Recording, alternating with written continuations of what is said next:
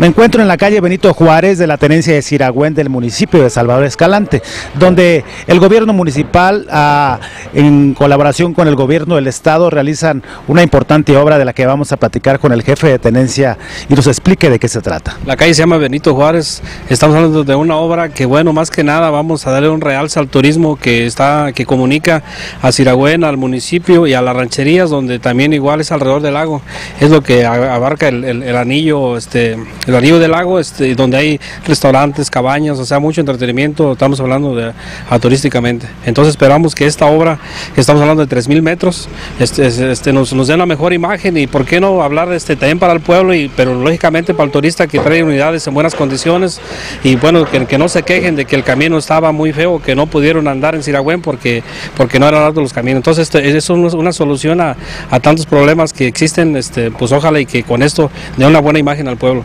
Eh, hablamos de 3.000 metros y cómo va a ser la calle esta adoquinada. La, la, la, calle lleva adoquinado, lleva por en la parte del medio este empedrado, ahogado le llaman empedrado ahogado lleva esa parte.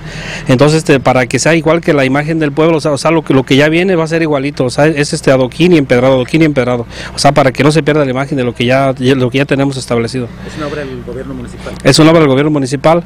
Este, lógicamente también interviene aquí el gobierno estatal. Y pues bueno, ojalá que como estas vengan muchas más, porque nos hace mucha falta, pero ya vamos empezando por una parte, ojalá que esto le dé más realce, que vean que, que eso es la mejor imagen para el pueblo, que eso es la mejor imagen para el turismo, y de esa manera seguir avanzando.